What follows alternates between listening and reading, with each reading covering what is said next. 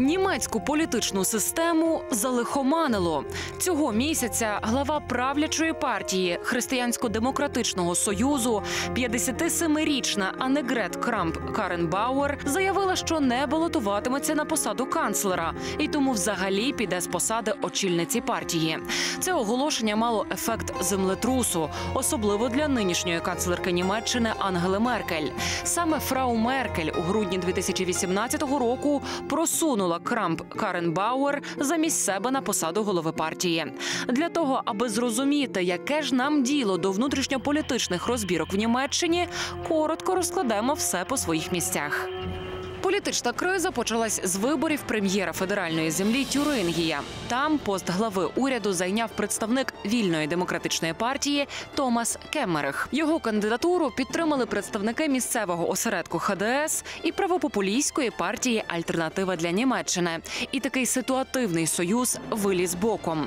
Коаліція з ультраправою партією спричинила не лише протести в Тюрингії та Берліні, але й падіння рейтингів християнсько-демократичного союзу.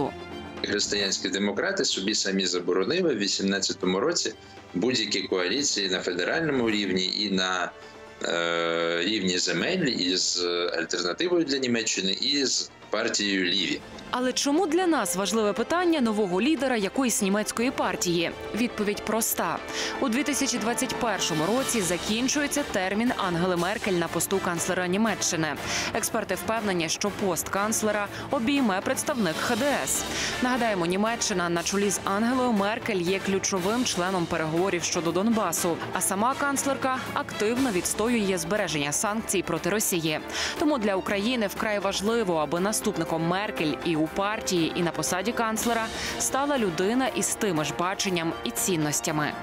Німеччина знаходиться в нормандському форматі. Німеччина є однією з провідних економічних і політичних потуг Європейського союзу, і від цього буде залежати як наш трек по мирному врегулюванні на сході, так і наш трек по асоціації і взаємодії з європейським союзом, і почасти також і НАТО, хоча якби голос Німеччини в НАТО не такий вагомий, однак все ж таки. Особливо пильно слід придивитися до кандидатів, які нині претендують на пост лідера Християнсько-демократичного союзу. До прикладу, колишній голова фракції ХДС ХСС Фрідріх Мерц вимальовує амбітні плани для партії. Нині перед нами стоїть вибір між безперервністю та новим початком і оновленням. Я виступаю за новий старт для християнсько-демократичного союзу. Нам потрібно бути кращими. Нам потрібно бути життєздатними в майбутньому. Нам дійсно потрібно рухатися вперед, і ми не можемо залишатись такими, як ми були. Однак новий рух Німеччини вперед потенційний наступник Меркель бачить в бік Росії. Цитую: Німеччина і Європа повинні йти на зустріч Росії і використовувати усі способи для того, аби в 21 столітті точок дотику стало більше. Хоча й додав, що така політика буде успішною вже після закінчення президентства Володимира Путіна. Експерти ж впевнені, що йдеться суто про економічну вигоду співпраці з Росією. Чому він власне вдається до таких е, для України неоднозначних висловлювань на адресу Російської Федерації і партнерства з Російською Федерацією? Через те, що він е, представляє знову ж таки інтереси економічних кіл, які зацікавлені в тому, щоб е, зростали обсяги торгівлі і відповідно санкції деякою мірою, хоча власне для Хоча, власне, за вже 5 років, більш ніж 5 років існування цих санкцій Німеччині вдалося дуже чудово диверсифікувати напрямки її торгівлі, які потрапили під вплив цих санкцій. Однак певні втрати економіка все ж несе, хоча вони знову ж таки не критичні там для основних федеральних земель, які торгували з Російською Федерацією, вони коливаються в межах 1-2% від їхнього загального торгівельного know, Bowens. Серед кандидатів на заміну Крамп-Карренбауер ще є прем'єр-міністр федеративної землі Північний Рейн Вестфалія Армін Лашет, а також міністр охорони здоров'я Єнс Шпан.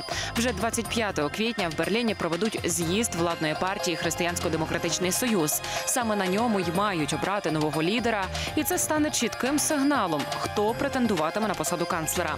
Та експерти впевнені, що вибір лідера провідної німецької партії дещо передчасний. Мовляв, до виборів канцлера канцлера у 2021 році ще дуже багато чого може змінитися.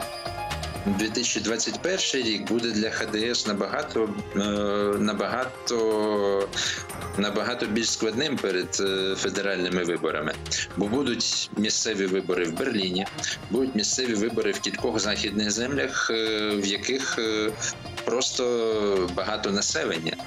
І відповідно ХДС треба буде реагувати на те, е, яким чином, е, яким чином знаходити доступ до цих виборців, беруть нового лідера, і можливо цього ж лідера наділять е, правами кандидата в канцлери, що це буде трохи завчасно. Бо, власне кажучи, ХДС може знову ж таки зіткнутися з якимись подіями на ось цих регіональних кампаніях е, на початку 2021 року, які е, зможуть якось вплиняти на розклад і вплинути на те, з ким партія піде на федеральні вибори. Деякі ж експерти переконані, що з так званим відходом Меркель від посади, хто б не обійняв її місце, кардинальних змін очікувати не варто. За 18 років керівництва партією ХДС з 2000 до 2018 року, а також будучи 15 років канцлеркою Німеччини, Меркель неабияк вкорінила певні, назвемо це правила гри, що найближчим часом їх ніхто не мінятиме.